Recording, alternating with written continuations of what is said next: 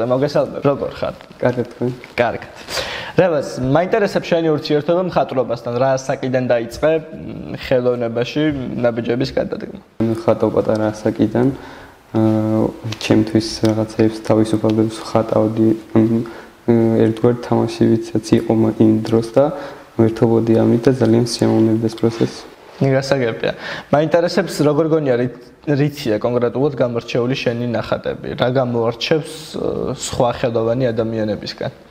აა რეალისტურობა არის რეალისტურობა მიყვარს უფრო და ჩემი აზრით გრძნობებით და ემოციებით არის დახატული. როდის გრძნობ ხოლმე თავს ყველაზე კომფორტულად, როცა გინდა რომ დაიწყო ხატვა? როდის გაბრაზებული ხარ, სევდიანი ხარ, ბედნიერი ხარ? ესეთი კონკრეტული რამ არ აქვს თავისით არის გრძნობები შეიძლება ესე თქვა, რომ გრძნობები რომ მოგვაწება, მაგ დროს გინდა რომ ფურცელზე გადმოსწრეს ყველაფერი. გასაგებია. რა თვითნასწავლი ხარ თუ დადიოდი მხატვრობის წრაზე? სამხატვრო სკოლაში დადიოდი.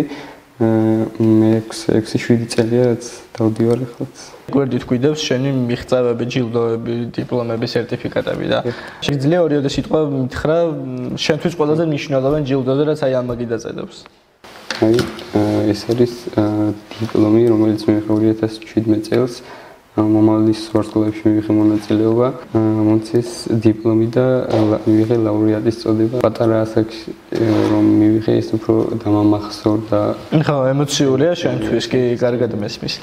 გასაგებია და ვინ არის შენი კომბირი ინსპირაცია ხელოვნებაში? ლეონარდო და ვინჩის შემოქმედება მომწონს. რატო? უფრო რეალისტურად მოჩნი მის ხატები და რასაც გავსებას პავლე ხო შენს?